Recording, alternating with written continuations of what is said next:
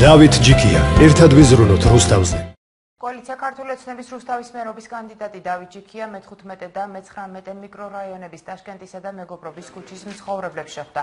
მოსახლეობა კორპუსების დატბორილი საძირკვლების მოწესრიგებას ითხოვს. ჯიქიაკე მათ დაპირდა, რომ მისი მერად არჩევის შემთხვევაში საკანალიზაციო და სანეაღვრე სისტემა მთლიანად გამოიცვლება და ქალაქს უკანონოდ გასხვისებული ტერიტორიები დაუბრუნდება.